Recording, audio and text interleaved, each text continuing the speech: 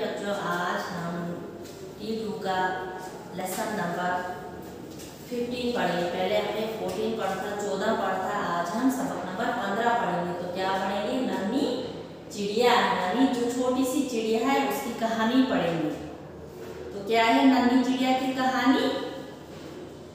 मैं फुर से उड़कर जाती हूँ, यानी बोलती है, मैं फुर से उड़कर जाती हूँ और फ़ौरन वापस आती हूँ बोलती मैं उड़कर जाती भी हूँ जल्दी और वापस आती भी हूँ जल्दी। मैं बहुत सा दाना लाती हूँ यानी वो जा, जहाँ जाती है उड़कर वहाँ से वो दाना लाती है।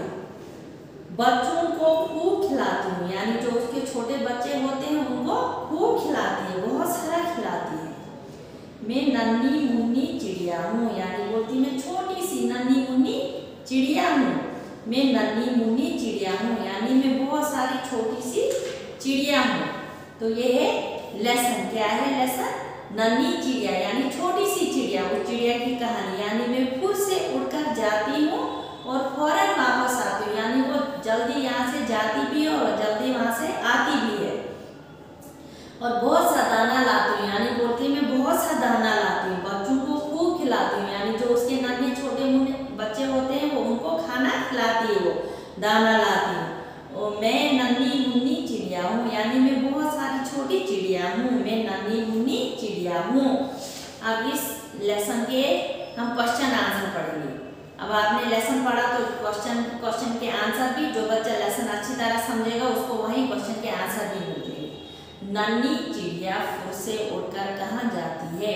हैं जो नन्ही चिड़िया थी, वो उड़कर कहाँ जाती थी? उड़कर कहाँ जाती थी? नन्ही चिड़िया से उड़कर दाना लाने जाती थी। यानी बोलते हैं, जो नन्ही सी चिड़िया थी, वो उड़कर कहाँ जाती थी? दाना लाने जाती थी।